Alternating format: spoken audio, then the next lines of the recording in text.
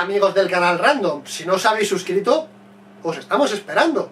Y bueno, ya de paso podéis entrar a Comunidad FM, que es un portal de videojuegos que está muy bien y donde podéis encontrar todos nuestros episodios.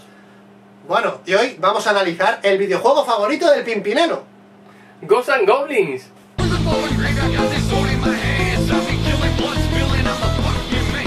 Estarás contento, ¿no, Pimpinelo? ¿Tu juego favorito? Hombre, pues claro que sí, hay cementerios, tumbas... Ah, que sí, que te pires, coño, no aburras al personal, que a nadie le importa lo que tienes que decir. ¡Al lío! Bueno, aquí tenemos la intro del juego y aquí está el Pimpinelo con la princesa. Que a la princesa no se la ve bien. Voy a meterle un poco de zoom. ¡Hostias! ¡Que alguien se la lleve!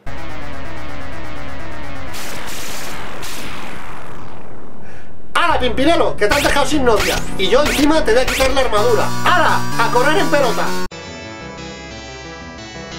¡Salta, Pimpinelo, salta! ¿Veis? En la vida real no se puede saltar una tumba, y menos llevando unos calzones de flores. ¿Pero qué haces dándole hostias a la tumba? Que no se puede romper, que es de mármol. ¡Ea! Eso te pasa por gilipollas. Ahora sí que puedes saltar la tumba. Cuidado con los zombies, esto es la vida real. Aquí no tienes armas infinitas. ¡Corre, Pimpinalo!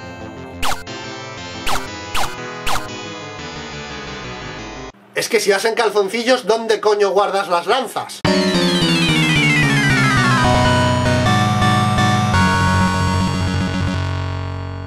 Bueno, pues no, no hay realismo ninguno.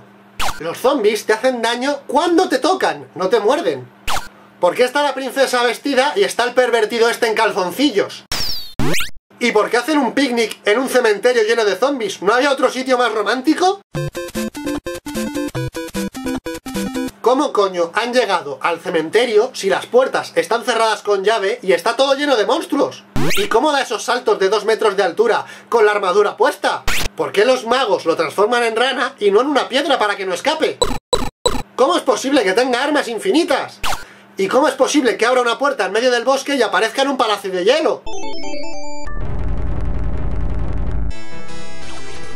Bueno, pues ya habéis visto que este videojuego no puede adaptarse a la vida real porque no es nada realista. Bueno, Pimpinelo, me alegro de tenerte aquí y de que estés vestido, porque verte en calzoncillos no es una imagen agradable. Hombre, pero ¿qué iba a ser si me has quitado la armadura?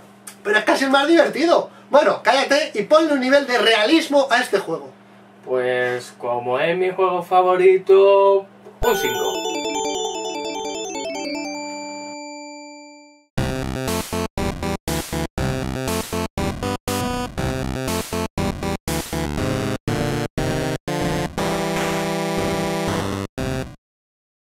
Oye, Pimpinelo, ¿sabes que con este capítulo vamos a perder un montón de suscriptores, no? ¿Pero por qué? Si está guapísimo. Coño, porque sales en pelotas y es asqueroso, ¿te parece poco?